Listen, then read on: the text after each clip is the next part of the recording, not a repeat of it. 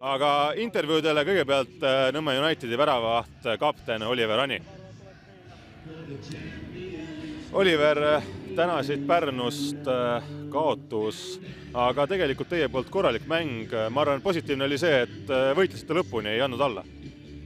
ja eks esimene poolaeg lasime natuke liiga lihtsalt, ma ei tea, millest see täpselt tuli, kas häälestus oli natukene teistmoodi või ma ei tea, natuke liiga lihtsalt lasime. no teine poolaeg, rääkisime riietusruumis ka, et meil ei ole midagi põdeda, et me peame julgema mängida palliga ja seda me teine poolaeg tegime ka. poolel peamine probleem oli, mis te, mis te ise riietusruumis arvasite?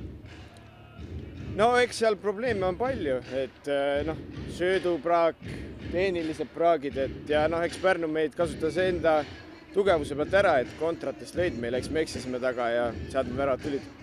tabelis nüüd äh, Elva täna võitis ka, nii et teie jaoks ka viimasele mängule jääb kõik otsene lahing äh, Elvaga siis kolmanda koha peale. et äh, on see kolmas koht midagi, mis, mis teie jaoks oleks ka nagu ikkagi saavutuse mänguga?